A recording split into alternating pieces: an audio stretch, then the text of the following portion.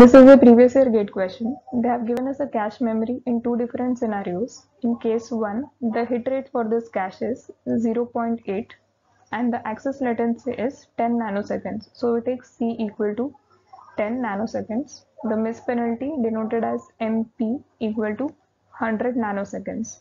Now since they have not talked anything about the main memory access time in this case, we take the average access time to be hit rate into cache access time plus miss rate which is 1 minus h that into cache access time plus the miss penalty which becomes 0.8 into 10 plus 1 minus h which is the miss rate equal to 0.2 into 10 plus 100 which is the cache access time plus miss penalty in case of failure.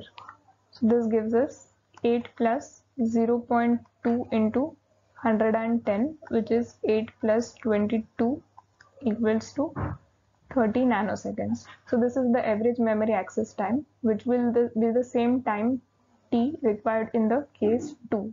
Here we have t equal to 30. The hit rate is what we need to calculate. The cache access time has been increased from 10 to 15 nanoseconds and the miss penalty still remains the same which is 100. So in this case, the average access time will be hit rate into cache access time, the same formula which we have used earlier, plus the miss rate into cache access time plus the miss penalty, which becomes h times of 15 nanoseconds plus the miss rate which is 1 minus h that into cache access time plus miss penalty which is 15 plus 100. So we get 15h plus 115 minus 115 h and this should be equal to t which is 30 nanoseconds.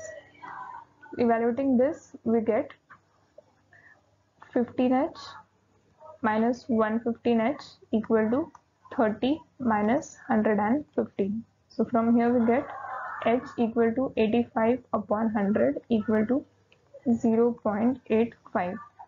So if we take the hit ratio in this case as 0.85 or the 85%, then the average access time required for both the scenarios will be the same, which is 30 nanoseconds. And the hit, rate we got is 0.85. That's the answer.